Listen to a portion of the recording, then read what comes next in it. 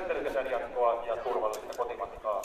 Toivon, että tapaamme taas Savossa vuonna 2008.